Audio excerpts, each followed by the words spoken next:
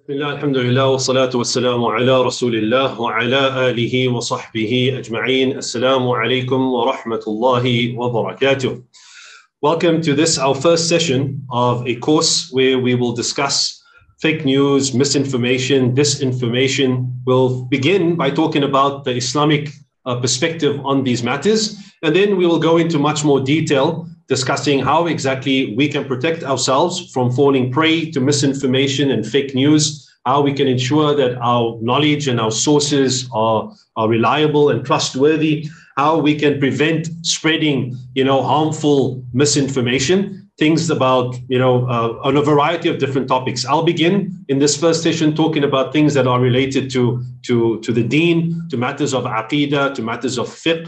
And then uh, over the next few weeks, inshallah ta'ala, we will be discussing matters that are more general. So, what are the kinds of news sources that you need to be that you need to be looking out for? What you need to be to watch out for? We will talk about the power of social media to influence our decisions. We'll talk about you know those kinds of things, and then by the end of this, inshallah ta'ala, I, I hope that you will be better armed and better prepared for dealing with the the torrent and you know just the, the flood of information that comes your way every single day. You'll have better tools that will enable you to differentiate between that which you can trust and that which you can rely on and that which is uh, you know which is uh, unreliable untrustworthy uh, that which is harmful. And we'll talk about that today as well inshallah ta'ala because we'll end our discussion today talking about hate speech and also propaganda and how harmful that can be. So let us begin our discussion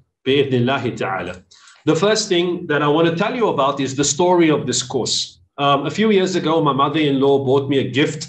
The book was called The Organized Mind by Daniel Levitin, who's an American author. And it's about thinking straight in the age of information overload, right? So I read part of the book, and uh, but then I was I was struck by something that he mentioned, he says that he has another book, and that book is called Weaponized Lies How to Think Critically in the Post Truth Era. Same author. He is um, a neuroscientist, if I'm not mistaken, or a psychologist. I forget his actual you know, uh, qualification. But these two books are dealing with how to think critically, how to be able to differentiate between what is reliable, what isn't. Every day you hear things like statistics 64% of all Malaysian uh, or South African or you know American adults are vaccinated or they are not. You know, so every day you hear things like this. Uh, one third of the population believes such and such. So you hear facts and you, you hear figures every day, but to be able to know what you can rely on and what you can't, and understanding how this is being used as a means of fooling you, of convincing you, of persuading you, causing you to adopt certain positions and take certain actions. This is a very important skill set to have in the in you know in our age where we are, mashallah, very advanced technologically in terms of the way we communicate. And like uh, one person said that we have the knowledge of mankind in our hands, literally in our hands. But what do we use it for? We use it for for taking selfies and uh, you know using face swap and uh, sharing memes. We, we can you know we can change the world at the, our fingertips with knowledge of mankind. That's so true. Subhanallah. Just think about this from the perspective of a Muslim. You have the Quran, you have the Sunnah, you have the books of tafsir, you have the books of hadith, you have the books of Arabic and usul al-fiqh, and you have all of this in, on one device, thousands and thousands of books. But are we doing it? Are we using it to do research, to read, to educate ourselves about the deen? What are we using our mobile devices for? And our laptops and our tablets. So think about this deeply. I will discuss this as an exercise later, inshallah ta'ala. So that got me thinking. Now, these two books are books that I read recently, the last few years. But when we were studying at the Islamic University of Medina, I went to Kulliyatul Hadith, the faculty of Hadith. And in the third year, we have a subject called Al Wad'u wal Wadda'un. Basically, Hadith fabrication and those who fabricate them. All right, so those who fabricate them. So the subject, we have one year dedicated two or three times a week. We have the subject, and we were studying a book that was written by Sheikh Umar Falata, who uh, did a three volume thesis on this topic at the University of Al Azhar. So that was our primary reading material, but our teacher had his own notes, sort of a distilled version of those three volumes. So over the course of that year, we studied what fabrication is. What are lies against the Prophet? ﷺ? What does it mean to manufacture a lie against the Messenger of Allah? The Prophet ﷺ said, then the person fabricates something which the Prophet never said, which never came out of his mouth, sallallahu alayhi wasallam. When did this start? Very important question. Why did people fabricate against the Prophet sallallahu alayhi wasallam? Now, the, the, the, the, connect between that and this is that the scholars of hadith have a number of very, very important principles and tools that they use to verify the sunnah, which I will discuss with you later. But those the same if someone can lie against the messenger of allah do you think that's that that that person won't lie in other in in in, in other aspects of his or her life? It's a definite possibility. Person wants to sell this uh, you know sell this product they will lie to you about its effectiveness. If a person is willing to lie against the messenger of allah as a muslim forget about the kuffar and those who uh, you know those who are enemies of islam they lie against the Prophet every single day. They say things about him that aren't true. They distort the truth about him. But I'm talking about a Muslim. If a Muslim says the Prophet says, and he knows that the Prophet never said that, um, then of course him lying in other matters would be even easier. So that's what interested me in this in this topic. And um, inshallah ta'ala, at the end of the course, I'll give you some other resources that you can use to further your studies. And I hope, inshallah ta'ala, that it will be beneficial. So we are obviously, you know, we are bombarded, we are surrounded by different, you know, types of information. There's, uh, you know, just uh, uh, social interactions, we have social media, we have websites, we have po- popular culture, movies, TV shows, novels, just a flood of information. And being able to firstly prioritize what it is that you want to learn, what it is that you want to know. Then, once you've identified what it is you want to know, to ensure that you're getting it from the right sources. I mean, you don't you don't want to. If I told you that the food that you were eating is tainted, that it is harmful, you'd stop eating it, wouldn't you? If I told you it's contaminated, if I told you that it had, uh, you know, a bacteria, a harmful bacteria, or that it was tainted with poisonous chemicals, you wouldn't eat it you'd be more you'd be more careful. You'd want to source the right types of food.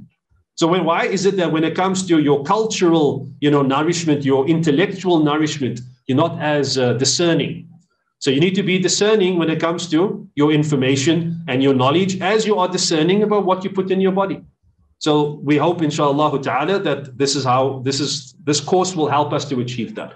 What are our course objectives we want to learn how to think critically, and we want to understand that from an Islamic point of view, thinking critically and using our minds and our reason that Allah has bestowed upon us, that this is something encouraged by the Sharia. All right.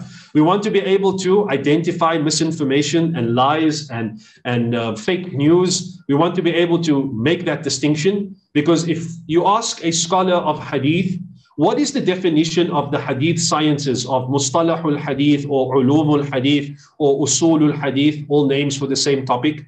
Why do I need to study sahih and hasan and da'if and mursal and, and munqati' and you know all of these different categories? The definition of it is, uh, it would be al-qawa'id, the ma'rifatul qawa'id allati, those knowledge of the principles through which you would distinguish between what is authentic and what isn't of the sunnah of the Prophet sallallahu alaihi wasallam. That's, that's the definition. So everything that you study in the, the sciences of hadith is to achieve this objective. The main objective of studying hadith, uh, hadith sciences is to be able to differentiate between what the Prophet said and did and what the Prophet did not say and do, but people have attributed to him. All right. Then we also want to learn how to make informed decisions. So, uh, for instance, studies have shown, you hear this all the time. In a study that was done at the University of Wisconsin, now, first and foremost, it's something that affects you. Your mother or father is ill. Studies have been done on the disease that your parents are, are, are sick with. You want to know whether that medication or treatment would be good for you. You need to make an informed decision. So knowing that that information is correct and reliable, that the study itself was done properly, that's going to be important. You want to know, for instance, as from as a Muslim, whether or not you should fast only. Whether, is it okay for me to fast only on a Friday? I'm to single Friday out with fasting. So you want to know that the hadith about that topic is authentic.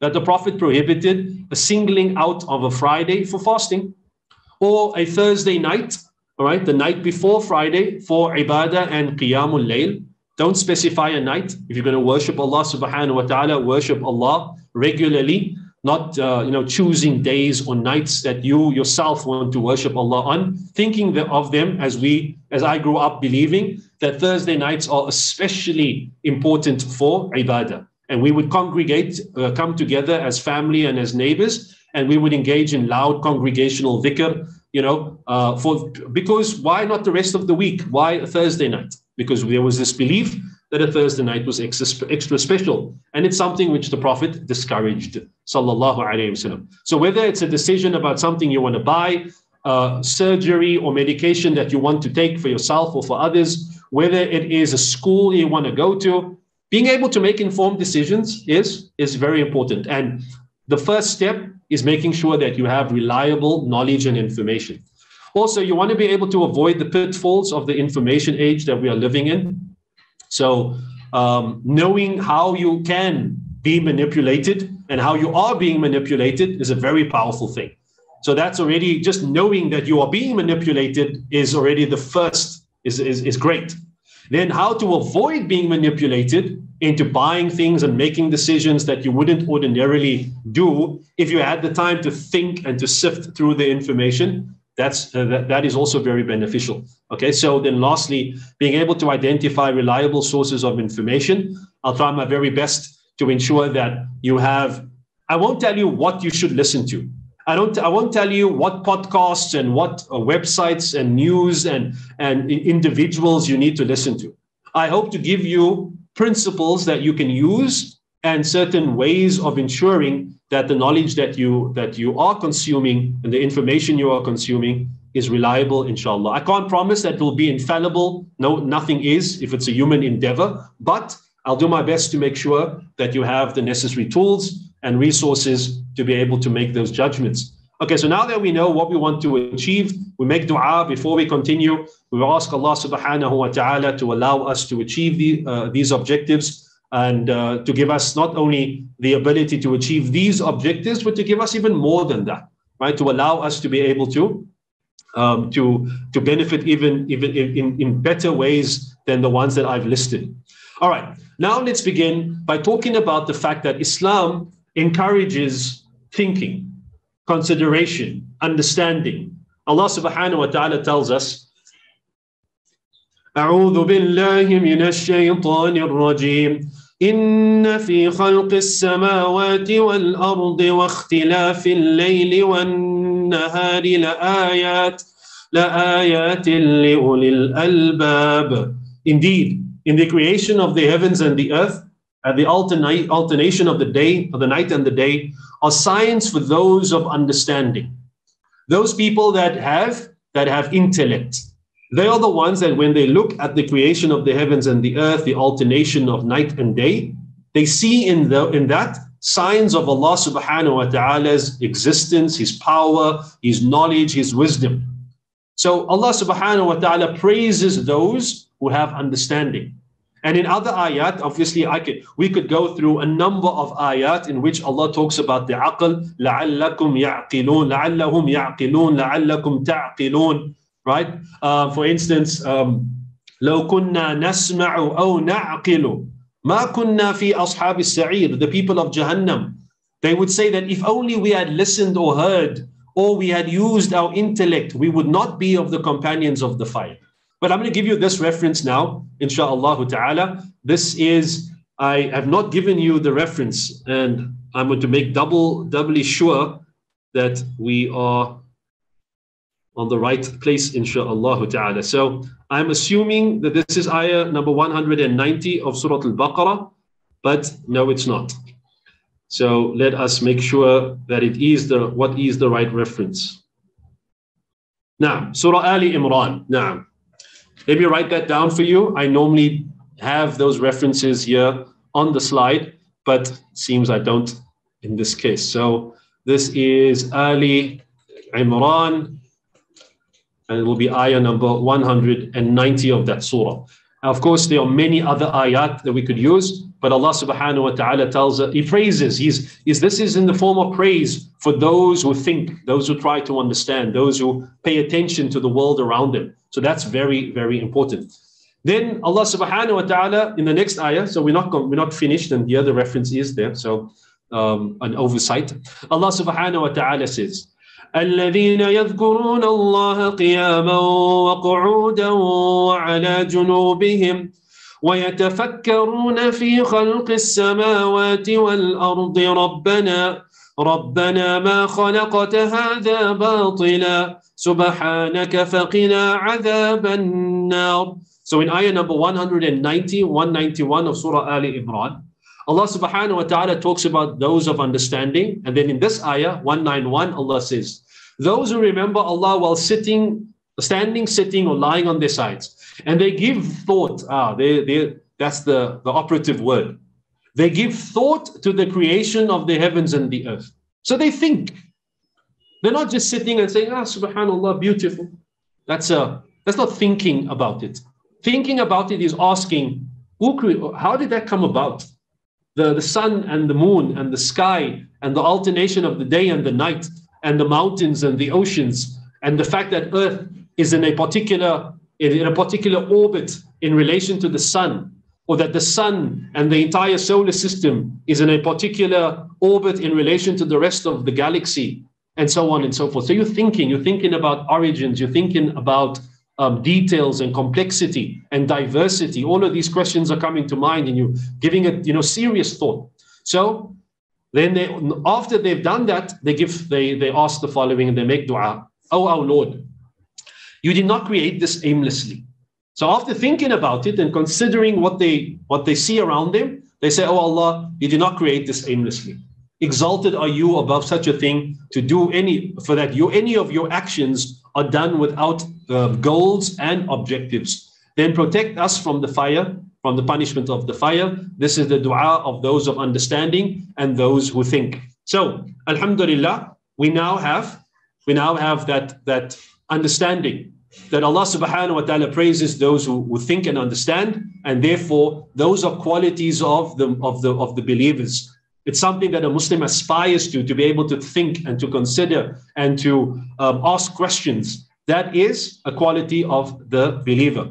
Now, another aspect or another quality of the believers is that they verify, right? They verify and they investigate. So those are two words investigation and verification. Allah subhanahu wa ta'ala tells us in ayah number six of Surah Al Hujurat. يا أيها الذين آمنوا إن جاءكم فاسق بنبأ فتبينوا فتبينوا أن تصيبوا قوما بجهالة فتصبحوا على ما فعلتم نادمين Oh, you who have believed. So Allah is addressing the believers directly. if there comes to you a disobedient one, a fasiq, someone who's unreliable, someone who, you know, who is known to be untrustworthy, that person comes to you with a naba, with information, then you should investigate. In another qira'ah of this ayah, فَتَثَبَّتُوا So, verify and investigate, clarify, ask questions, have, you know, um, have testimony provided, um, have collaborating evidence. don't make rash decisions. Now, this ayah is going to have direct bearing on many of the things that we'll talk about. One of the things that we'll discuss is the importance of not sharing unverified information. Something comes to you on WhatsApp, something comes to you on Facebook or Twitter or TikTok or any one of the thousands of, of different apps out there. Do not share that with anyone until you have verified that it is authentic. Don't share it and say, What do you guys think about this? you know, uh, have you heard about this? No. You need to make sure that the burden now is upon you. You are now at a at a position of responsibility and accountability. because you you can be the node in the in, in, in the transmission of this information where it stops. If you if you take the time to verify and find that it is false, you can then return it to the person who sent it to you and say and say to that person, "I'm sorry to I'm sorry to tell you, but this is this is false. This is not correct." Or this has been doctored, or this picture was a picture taken in, in, in 2016. This is not a picture from riots in South Africa, or this is from 20, 2009, not 2021. So don't, um, you know, don't share something if you don't know if it's true or not. Someone shared with me last year a video, very professional video, of Russia attacking NATO targets in Eastern Europe. I think it was in uh, in Poland and in um, uh, what other bordering country is there? I forget now. Czechoslo- uh, the Czech Republic or Czechia, as they call themselves now. But the point is that I was shocked. I thought, wow, subhanAllah, this is World War III. And so I looked at the video, professionally done. They have the reporter, they have the BBC, you know, background, everything.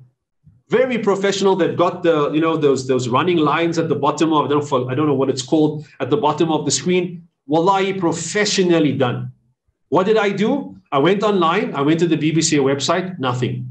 I went to Al Jazeera, nothing. I went to The Guardian, nothing. Okay, I checked and I wanted to know, I just typed in Russia attacks NATO targets, nothing. So that meant that that was a perfectly doctored video showing NATO being attacked by Russia and the potential for World War III beginning was there, but it was completely false. It was it was it, it was a it was a complete lie, right, with no basis in reality.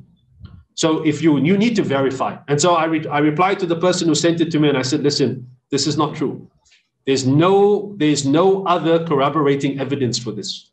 Okay, and then the person you know was was was aware of this. So you need to make sure that if you share something, make sure that it's authentic. Whether it's a make sure that if it's an ayah from the Quran, it's the right reference. The other day, uh, my students and I we were reading from a book, and it was uh, in Arabic. And then we found out that the ayah reference was the incorrect ayah reference. It was the right surah, but the wrong ayah number. So that's the level of detail. And don't be, don't, you know, don't say to yourself, ah, but you know, Tariq, that's a lot of work. I've got to check all of these things. No, shouldn't it be the response? No. I'm only saying to you that if you are going to pass it on to another person, you need to verify. Not that you need to check everything that comes to you. You only need to check if you are going to send that to someone else. Okay. So I hope that's clear. And Allah subhanahu wa ta'ala knows best. So this ayah makes it very clear that you and I, as Muslims, need to verify and authenticate information, especially when it comes to matters of the deen. And then when it's in other matters, there's also a level of responsibility there as well. Why? Because lest you harm a people out of ignorance and become over what you have done regretful. What is the reason this ayah was revealed? The Prophet had sent one of the companions to collect zakah from a certain tribe. He feared that that tribe would attack him. Now, that was just a fear that he had. So he came back and told the Prophet ﷺ that they had threatened to kill him. So the Prophet ﷺ was, of, of course, upset at this development. Then he um, he gathered a small contingent of Sahaba with the intention of marching on this tribe so that he could address this issue. So the Prophet was ready to go to war with these people because the Prophet felt, on the basis of this man's information, that these people were going to attack a messenger and a representative of the Prophet. Think about this from our perspective. If the Malaysian government sends a representative to Singapore and a rumor reaches them that, that he's been arrested or that he's been executed in Singapore, I'm pretty sure that there will be people in the Malaysian government that will be calling for military force to be used against Singapore in retaliation for those actions. Yes. But of course, the Malaysian government is first going to ascertain that that information is correct. They'll, you'll have the Prime Minister of Malaysia contacting the Prime Minister of Singapore or the Foreign Minister uh, contacting the Foreign Minister. Excuse me, you know, good morning. Uh, you know, we, we, we, are hearing reports. They might, first and foremost, they'll contact that diplomat. Listen, are you okay? We've heard something. Oh, no, I'm fine. I'm, in, I'm, at the, I'm at the hotel. Oh, then it's a rumor. It's false news. It's fake news. So they'll go through those levels of verification. Uh, Malaysia won't launch a military attack on Singapore on the basis of hearsay and rumor. because there are obviously consequences. And so that's what you and I need to realize that spreading and sharing false information has consequences and people can be harmed. Relationships can be harmed. You know, um, uh, people can go to can can can can um, uh, can fight can get into physical fights based on misinformation. People can go to war based on misinformation. People lose their jobs based on on lies and misinformation. So there's a lot of ways in which um, rumor and and and um, slander and misinformation can be harmful. That's something that we'll discuss, inshallah ta'ala. All right, so we move on. Abdullah ibn Mas'ud radiallahu anhu said, and this hadith is reported by Imam Muslim in his Sahih. It is obligatory for you to tell the truth, for truth le- leads to virtue, and virtue leads to paradise. And the man who continues to speak the truth and endeavors to tell the truth is eventually recorded as truthful with Allah. And beware of telling a lie, for the telling of a lie leads to obscenity, leads to sin, and that those sins lead to the fire of Jahannam. And the person who keeps telling lies and endeavors to tell a lie is recorded as a liar with Allah. The reason why I wanted to share this hadith with you is to discuss the uh, fact that as Muslims, this is part of who we are. All right. This is something that is part of our identity. Not only in the fact that we, the words that we speak and what we write it needs to be true. So for instance, if you go to you go to you go to school and your teacher asks you, "Have you done the homework?" Oh, you know, uh, teacher, last night, you know, the our electricity, uh, you know, at our at our home, uh, you know, the whole neighborhood, there was a blackout, and obviously that's not true or the famous one, you know, the dog, the dog ate the homework, or you know, the hamster, or whatever it might be. So that's not true. You're late for work, you blame it on the traffic. There was no traffic, you just woke up late. So that's for, for us as individuals. But then on another, another perspective, this hadith is also encouragement to make sure that what you share, what you consume, what you share with others is also true and uh, correct. In the same way that you would ensure that um, when you speak, you are truthful. You'd also want that in the information that you that you that, that you get that you get, and also in the information that you share. And of course, the other thing is that that kind of truthfulness and that attention to detail and attention to accuracy is a reason for going to Jannah, and the opposite is a reason for going to Jahannam, as we will see in other ahadith. Alhamdulillah like this one. The Prophet says, It is enough of a lie for a man that he narrates everything he hears.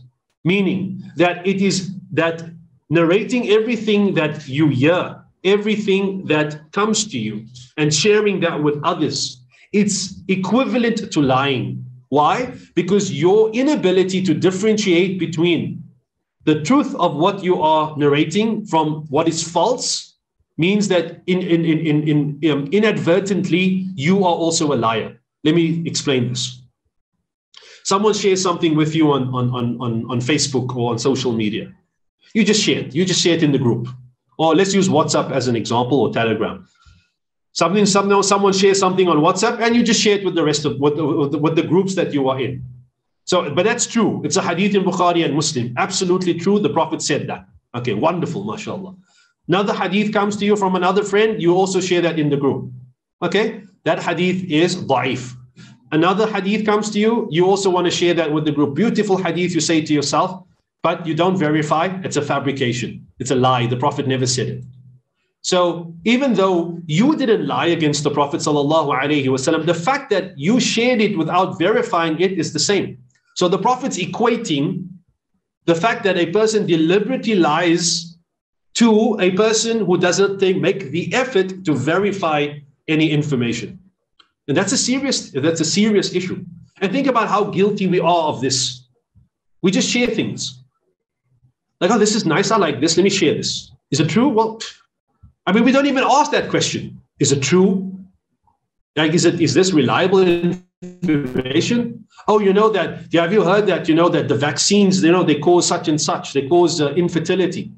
Oh, really? Where did you hear that? Does it matter? Sounds plausible.